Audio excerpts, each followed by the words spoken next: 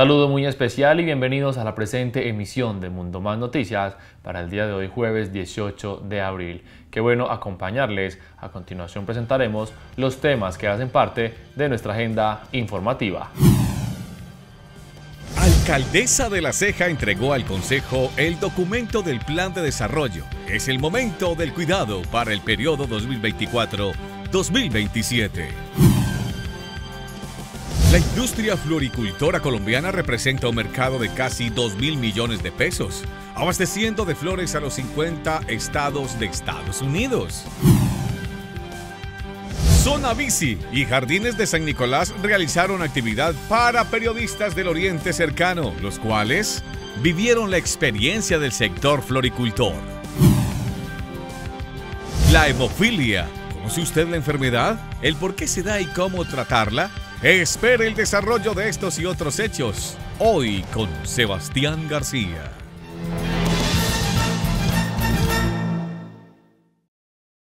E iniciamos con toda la información hablando del municipio de La Ceja, porque en horas de la mañana de este jueves, la alcaldesa Ilbeth Santa entregó de manera oficial el plan de desarrollo al presidente del Consejo Municipal, Orlando Ríos, el cual manifiesta los programas, lineamientos y demás ejecuciones que se van a tener en cuenta para el próximo cuatreño. Durante la mañana de este jueves se entregó el plan de desarrollo de la ceja al Consejo Municipal. La alcaldesa indicó que la parte social será su prioridad, no solo en el área de ejecuciones, sino también en la infraestructura. La primera mandataria mencionó algunos proyectos para el cuatrenio, el cuidado de la estrategia fundamental de esta administración. Por eso dentro de la planeación se tendrá en cuenta de manera prioritaria este componente nos encontramos en el recinto del Consejo Municipal, hacemos entrega oficial de eh, lo que será el plan de desarrollo, es el momento del cuidado.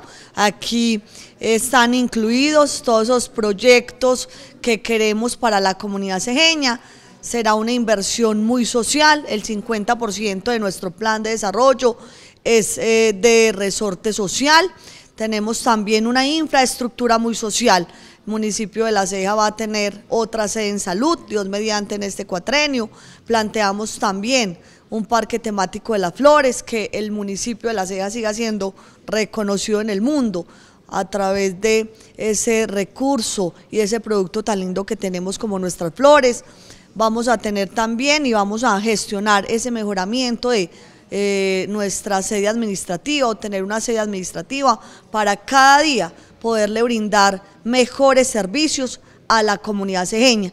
Y planteamos también una infraestructura vial social muy necesaria como el mejoramiento de la vía La Ceja Río Negro por San Nicolás, avanzar en la doble calzada, tenemos un reto muy importante también de consolidar la circunvalar eh, suroccidental del municipio de La Ceja, retos importantes también que aquí están contemplados como terminar nuestra plaza de mercado, avanzar en ese proyecto regional para que la ceja tenga la sede de El Sena y especialmente, como lo digo, la creación de muchos programas sociales que nos permita cuidar a los cejeños, cuidar a nuestros niños, a nuestros adolescentes, a nuestras jóvenes, a nuestras mujeres, a nuestros hombres, a nuestros adultos mayores, a nuestros campesinos, comerciantes. Ese es nuestro propósito, crear el sistema municipal del cuidado, porque es el momento de, del cuidado y vamos a trabajar en este cuatrenio para dar cumplimiento a estos proyectos. Oscila su ejecución en un valor de aproximado de 500 mil millones para los cuatro años. Finalizar obras como la Plaza de Mercado, el SENA y realizar intervención en obras urbanas hacen parte también de este proceso donde se tuvo alta participación de la comunidad y organizaciones. Este plan de desarrollo fue construido de la mano de toda la comunidad, tuvimos encuentros participativos con eh, los gremios, con nuestros campesinos, con nuestros empresarios, con eh, nuestras juntas de acción comunal, con todos los entes organizados también. Recibimos conceptos ya del CTP, el Consejo Territorial de Planeación, todas sus recomendaciones también aquí quedaron plasmadas, lo mismo también que las recomendaciones de Cornare y bueno, especialmente también pues todos esos anhelos del corazón de la comunidad cejeña y especialmente pues priorizando eh, esas verdaderas necesidades y esos verdaderos retos de cada sector, de cada barrio y de cada vereda. Por otro lado, el presidente del Consejo manifestó que se iniciará la discusión del plan de desarrollo donde se hará una revisión exhaustiva de cada uno de los componentes. Resaltó la importancia que se da el enfoque social y comunitario como promesa de campaña. La alcaldesa mediante decreto convoca eh, a sesiones extraordinarias del Consejo Municipal de La Ceja, 15 días para discutir eh, tres proyectos, dentro del más, obviamente el más importante tiene que ver con la discusión, aprobación del plan de desarrollo La Ceja es el momento del cuidado, periodo 2024-2027, en cabeza de la doctora Marilbeth Santa Santa.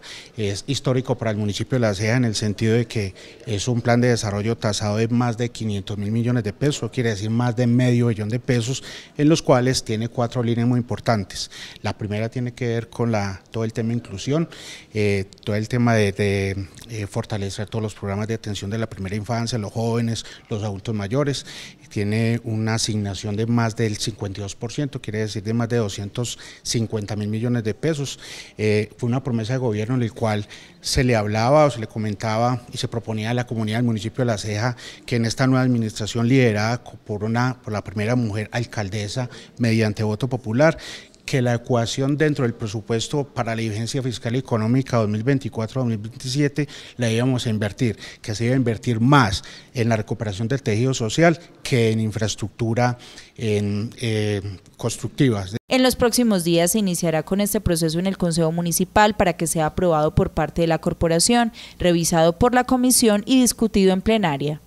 Cambiamos de tema y ahora les contamos que Mundo Más Noticias visitó el cultivo de flores Jardines de San Nicolás. Allí estuvo el director regional Marcos Osa, quien habló de diferentes cifras y lo que ha venido haciendo el sector agricultor durante el año 2024. La industria del cultivo de flores en el oriente antioqueño se ha destacado por ser un preponderante de Colombia, como uno de los principales exportadores mundiales de flores. Según estadísticas proporcionadas, el 75% de las flores importadas en Estados Unidos tienen su origen en Colombia, convirtiendo al país en el principal proveedor para este mercado y en el segundo a nivel global. Bien, Colombia sigue siendo el segundo productor de flores a nivel mundial, el primer exportador mundial de claveles. Ahora ya estamos en próximos días o ya nos encontramos en la temporada de madres. Ya tenemos en esta empresa, estamos eh, organizándonos hace 13, 14 semanas. Todo lo que ustedes ven aquí es lo que se está trabajando y cosechando para la próxima temporada de madres que comienza prácticamente dentro de unas dos, tres semanas, en donde es una de las actividades más importantes y de los picos más importantes de producción para el departamento de Antioquia.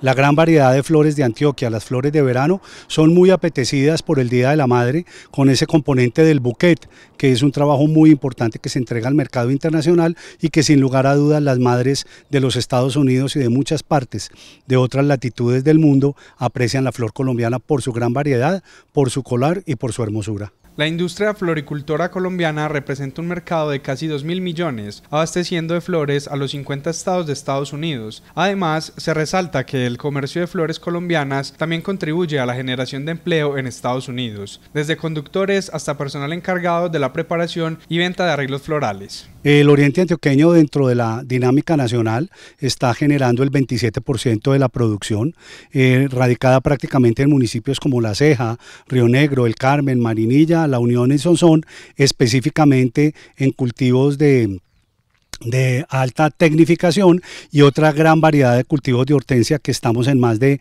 20 o 20, 25 eh, municipios, no solo en el oriente, sino en el suroeste de Antioquia también. Pero la gran producción de flores está en el Valle de San Nicolás. Además, el director se refirió a lo que ha impactado el cambio climático a la industria del cultivo de flores en cuanto a su beneficio y desventajas. El cambio climático es un hecho. Desde hace más de 26 años a través de la estrategia Flor Verde, que es un programa elaborado por los floricultores para los floricultores, tenemos una serie de trabajos y de checklists que lo que nos permite es que el cultivo trabaje en reducción en el consumo de agua, en el consumo de energía, en el consumo de fertilizantes, en el tema de contratación laboral, unas eh, baterías de trabajo supremamente importantes que nos permiten, por ejemplo, hoy que estamos en el fenómeno del niño, pues durante meses anteriores estuvimos recogiendo el agua canalizada a través de las aguas lluvias y llevada a los reservorios, que son unos lagos internos que tienen nuestras empresas precisamente para poder mitigar esos efectos del cambio climático.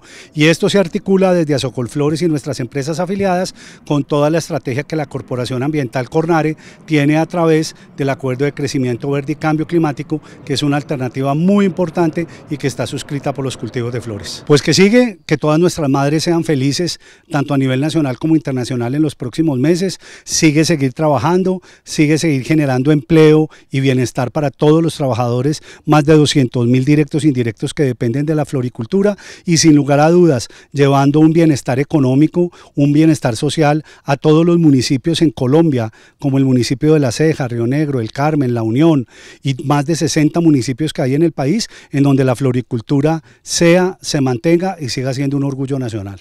Y seguimos hablando de esta empresa porque un grupo grande de periodistas recibió la invitación para acudir y vivir la experiencia del cómo es el proceso que se vive a diario con los diferentes trabajadores o como le llaman ellos, la familia de San Nicolás. En un encuentro realizado desde Jardines de San Nicolás, se socializó ante la comunidad las estrategias que se implementan desde la empresa para garantizar el bienestar de sus empleados. Me siento orgullosamente de contarles que en el sector floricultor no solamente se viene el colaborador a trabajar, sino que acá el colaborador viene a ser feliz y a ser feliz a sus familias. Tenemos un programa grande de bienestar laboral en donde está enfocado en ese gran propósito, en el propósito superior de Jardines de San Nicolás, que es cultivamos personas para cosechar sentimientos, nuestras flores.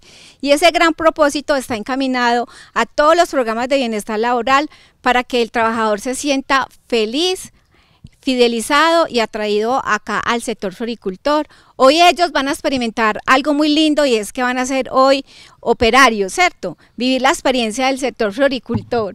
Y qué rico y lo más chévere es que ustedes puedan interactuar con ellos y preguntarles por qué se sienten felices en la familia Jardines de San Nicolás. Se implementan diferentes programas que apoyan el bienestar de la familia, su salud, vivienda y convivencia laboral. Se busca que cada uno de sus integrantes de la empresa se sientan acompañados, no solo desde la parte laboral, sino también en su parte personal. Programa de vivienda, programa deportivo, programa recreativo, cultural, eh, de vivienda, eh, tenemos un fondo de empleados, la Fundación Nicolás Jordan, tenemos programas como, como son Semillas de Felicidad, donde acá se celebra absolutamente todo, el Día de la Madre, Día del Padre, Día de la Mujer, Día del Hombre, nacimientos, matrimonios, la fiesta de la fantasía, el paseo institucional. Siempre les hacemos actividades después del pico porque ellos terminan cansaditos por su misma postura. ¿Por qué? Porque exportamos sentimientos a través del mundo. Entonces a ellos los consentimos demasiado porque es nuestro principal activo acá dentro de la organización.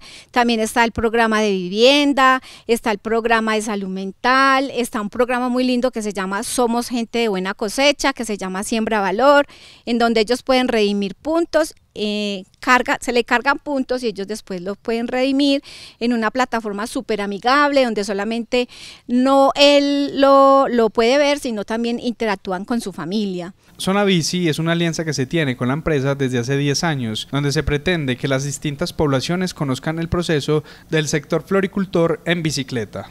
Zona Bici es una organización que nació en el municipio de La Ceja para valorar el patrimonio de movilidad que tiene esta localidad, que es la bicicleta.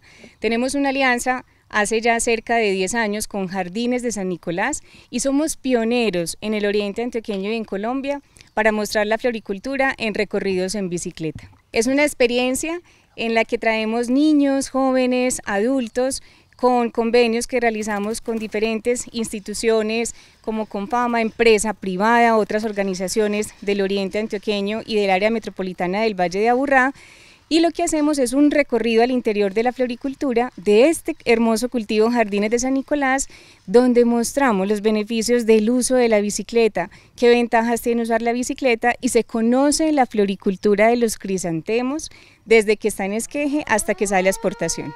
En los últimos seis años, cerca de 6.500 personas han hecho parte de Zona Bici, donde también se pretende fortalecer la vocación bicicletera de la ceja. En otra noticia les contamos, y más exactamente en la sección de salud, hoy estaremos hablando de la hemofilia, que es ¿La conoce usted y cómo tratarla? A continuación, un profesional de la S Hospital del municipio de La Ceja nos cuenta un poco y nos datea.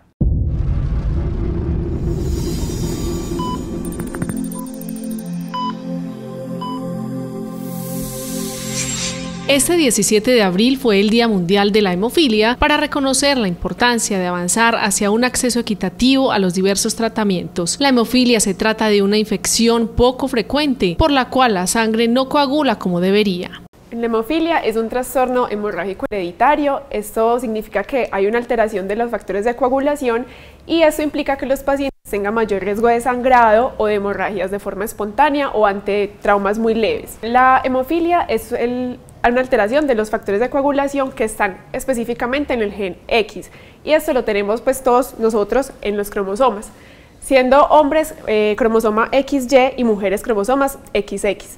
Es por esto que como el hombre solo tiene un factor de pues una X, es más propenso en que en ellos se dé una alteración como la hemofilia cuando tienen una X ya mutada. En la actualidad, existen diversos tratamientos aprobados para dar respuesta a los pacientes. Hay dos modalidades principales. Una es la del tratamiento a demanda, que está destinado a detener un sangrado. Otra modalidad es el tratamiento de profilaxis, destinado a prevenir las hemorragias que afectan principalmente las articulaciones y que provocan un daño reversible y una discapacidad motora. Entonces, como se afecta a los factores de coagulación, hay un aumento en el riesgo de sangrado, hemorragias. Entonces, esos pacientes pueden presentar equimosis o moretones ante traumas pequeños o de forma espontánea. También pueden presentar sangrados repetitivos en las articulaciones, principalmente en los codos, en las rodillas y en los tobillos. Y esto en ellos puede ocasionar que haya dolor, inflamación o rigidez de la articulación. También pueden haber sangrados espontáneos en diferentes órganos que pueden ser un poco más graves, como por ejemplo a nivel cerebral, puede ocasionar en pacientes algunos tipos de convulsión. También se puede ver en que los pacientes tengan sangrados a nivel bucal ante traumas leves, por ejemplo, con el uso de seda dental o procedimientos odontológicos. También un sangrado mayor cuando tengan procedimientos quirúrgicos y también leves. La visión de un tratamiento para todos, según informó a través de un comunicado la Federación Mundial de la Hemofilia, es la de un mundo en el que todas las personas con trastornos de la coagulación hereditarios tengan acceso a la atención, sin importar su tipo de trastorno, su género, su edad o el lugar donde vivan. El tratamiento de la hemofilia, como vimos, es una deficiencia de los factores de coagulación, entonces toca es suplir los niveles. Ese tratamiento se hace también con el factor que esté faltando. Hay varios factores y mediante las pruebas pues, de laboratorio se identifica cuál es el que está en mayor disminución. Entonces se hace una suplencia del factor y eso se puede hacer como de forma regular para evitar sangrados o en el momento en el que el paciente ya tenga un sangrado activo para pasarlo. Frente a los casos que se presentan actualmente en Colombia, estas son las cifras. Es una enfermedad tan frecuente, en Colombia más o menos es como el 3.8 por 100.000 habitantes y principalmente se da en hombres mayor que en mujeres. Es importante estar muy atentos ante los riesgos que tenemos en los sangrados y si presentamos sangrados con mucha facilidad si tenemos una aparición de moretones de forma fácil o espontánea, si de pronto ya tenemos un, paciente, un familiar que esté cursando con hemofilia, entonces prevenir en él que tengan golpes, traumatismos, que tengan una buena salud bucal, que consulten de forma eh, rutinaria al odontólogo y que si se van a ver expuestos ante un procedimiento quirúrgico o algo que genere algún tipo de riesgo de hemorragia y en caso de que tengan algún procedimiento planificado, entonces consultar con su médico para el tratamiento adecuado. Y ahora en Mundo Más Noticias es momento de hacer una breve pausa, pero en minutos estaremos hablando de temas importantes del Oriente y la región de Antioquia. Con la estrategia Gerencias contra el Delito, el Departamento de Antioquia fortalece su seguridad. En sucesos, capturado integrante del Golfo en Río Negro, tragedia en Medellín, hombre asesinó a médico y generó incendio en una clínica. Ya regresamos.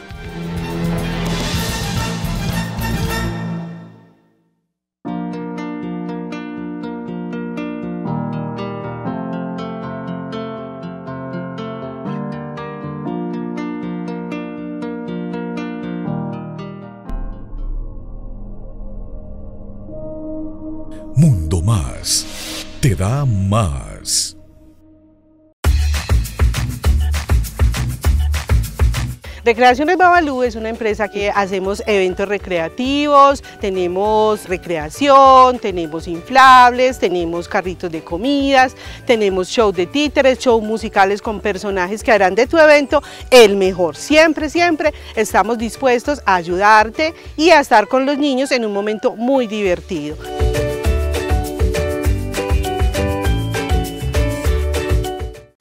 CJW 20 recarga de extintores, recargados con nitrógeno 100%. Equipos y elementos de protección personal, cintas de demarcación, kit para control de derrames, señalética, tornillería, insumos para botiquines y más. Estamos ubicados en la Ceja Antioquia, en la calle 22, número 2012. Domicilios para todo el oriente antioqueño y sus alrededores, en la línea 312-255-0733.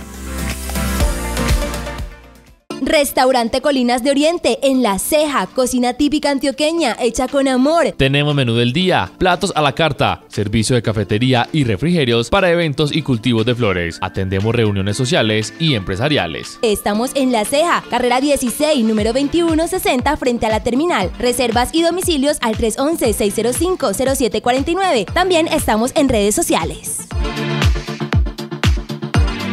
¿Has soñado con aprender a bailar para no quedarte sentado en las fiestas? ¿Practicar algún deporte? ¿O quieres cuidar mejor a tus mascotas y tus plantas? Esta nueva temporada de Matrículas con Fama llega con más de 600 cursos para ti y tu familia. Reserva tu cupo en tienda.confama.com o en tu sede más cercana. Vigilado Super Subsidio. Gracias emprendedores, comerciantes y empresarios por renovar a tiempo la matrícula mercantil. Su compromiso con la renovación contribuye al crecimiento y desarrollo de nuestra región. Renovar permite avanzar al siguiente nivel. Conoce los beneficios a los que puedes acceder al ser un comerciante Cámara Oriente ingresando a www.ccoa.org.co o en nuestras redes sociales arroba Cámara Oriente. Hola, soy Paula, especialista y enfermera de Alestetic. El día de hoy les quiero contar que en Alestetic contamos con la mejor tecnología. Una de ellas es nuestro láser de 810 nanómetros para hacer depilación definitiva. Nos va a erradicar entre un 80 y 90% del vello. Se puede realizar en todas las zonas del cuerpo. Nos va a ayudar con la irritación, con la policulitis, nos va a ayudar a despigmentar la piel. Estamos ubicados en el Centro Comercial Viva La Ceja, local 227, en el segundo piso. Visítanos para que te des cuenta todas las oportunidades y todos los descuentos que tenemos para este mes.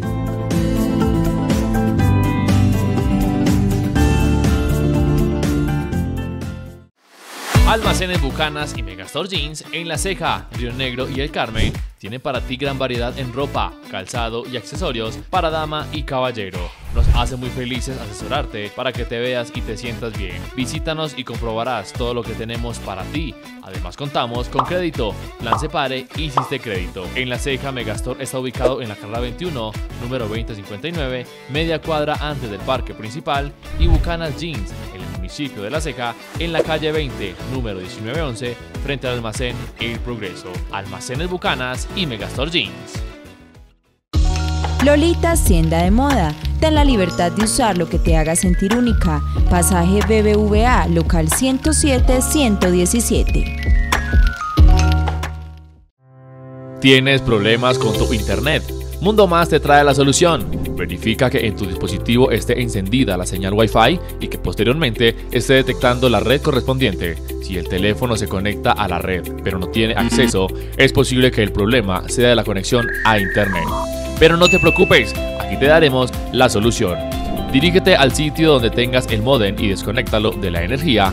Espera 15 segundos. Pasado el tiempo, vuelve a conectarlo.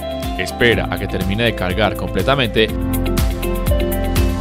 y vuelve a verificar si ya tienes acceso. Si el problema persiste, verifica que todas las luces del dispositivo estén encendidas correctamente. Pero si detectas que una de estas es de color rojo, posiblemente el cable de fibra óptica esté mal conectado o presenta alguna avería. En caso de ser así, comunícate con el servicio técnico para que te puedan brindar la asesoría más acertada. Y recuerda que Mundo Más te da más.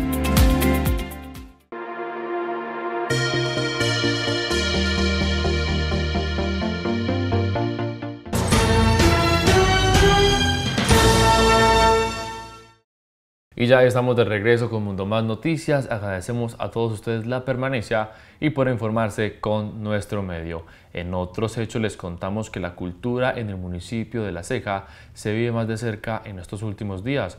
Por eso los invitamos a que conozcan lo que tienen para todos ustedes en temas culturales. Este fin de semana, en el concurso nacional de danza folclórica en el Carmen de Viboral, el grupo Cejeño Se Danza estará participando. Desde la Secretaría de Cultura en La Ceja se invita a la comunidad a apoyar esta agrupación desde las 4 de la tarde en el parque principal de esa localidad.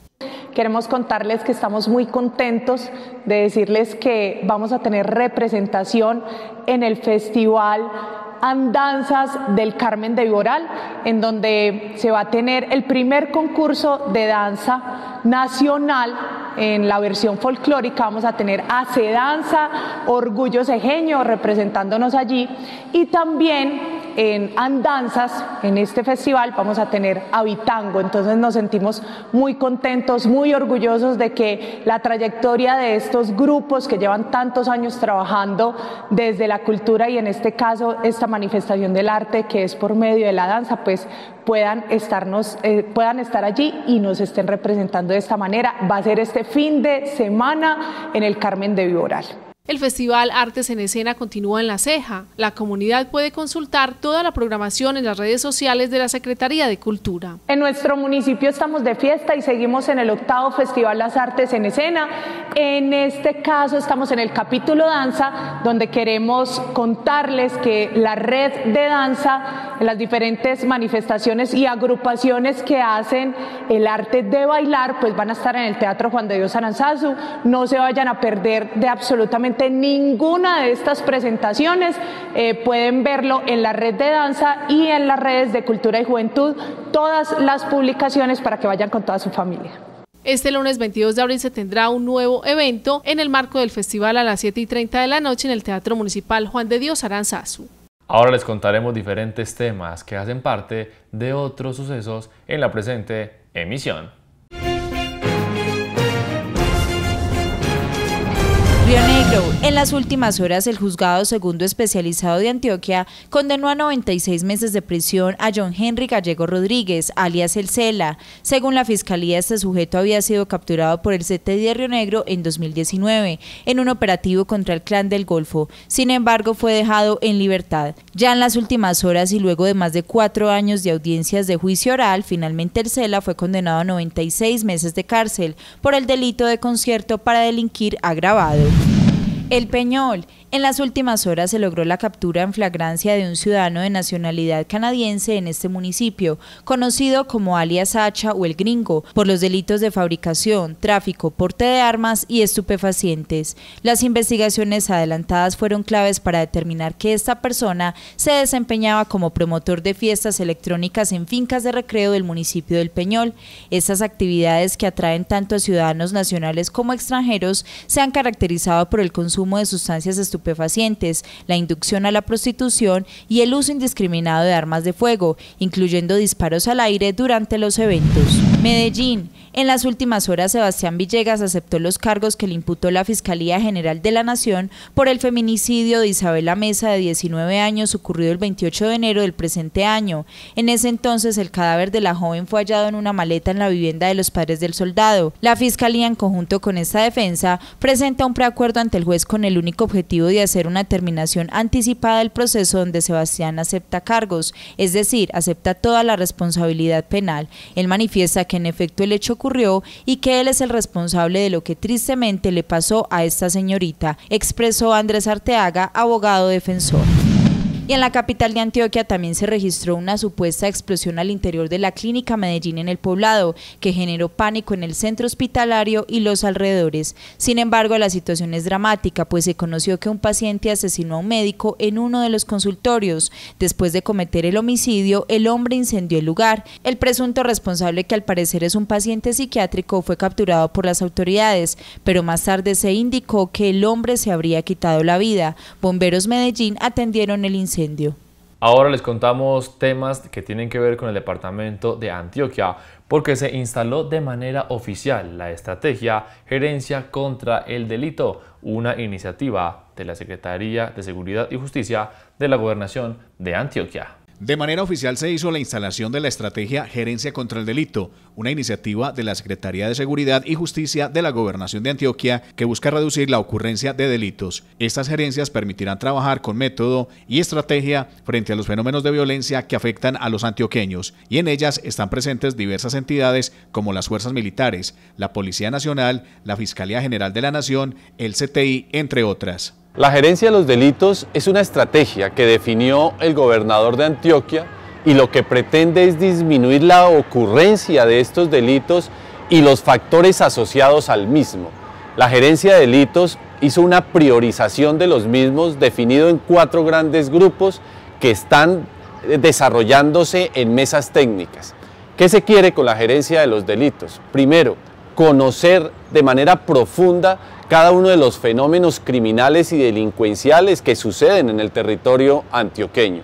Lo segundo, administrar las capacidades y las competencias de las instituciones que tienen la corresponsabilidad en afectar esos delitos, como es la fuerza pública, nuestro ejército, la policía, la Fiscalía General de la Nación y otras entidades que tengan una corresponsabilidad en el delito que se está analizando, estudiando y afectando. Las gerencias trabajarán de manera articulada en delitos contra la vida, homicidio y lesiones personales, rentas criminales que incluyen microtráfico y minería ilegal, acciones contra las estructuras criminales, atención a delitos contra el patrimonio económico, hurto, intervenciones contra las violencias de género, violencia sexual e intrafamiliar. Lo tercero es fortalecer las capacidades, las capacidades de la fuerza pública, las capacidades de investigación, el empoderamiento de las comunidades y entre todos hacer unas intervenciones integrales para disminuir el delito.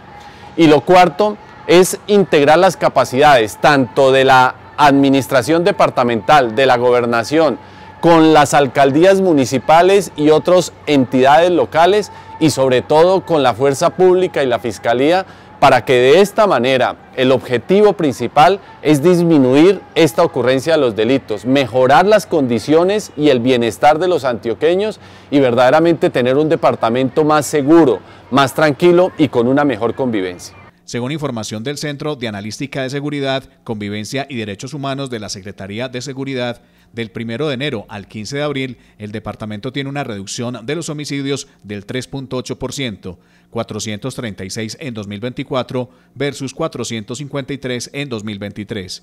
De igual forma, entre el 1 de enero y el 5 de abril de 2024 se registra una disminución de delitos como la extorsión, 38%, hurto a comerciantes, 48%, a entidades financieras, 100%, a personas, 31%, residencias, 16%, vehículos, 1%, ganado, 32%, motos, 11%, piratería terrestre, 100%, secuestro 57% y actos de terrorismo 68%.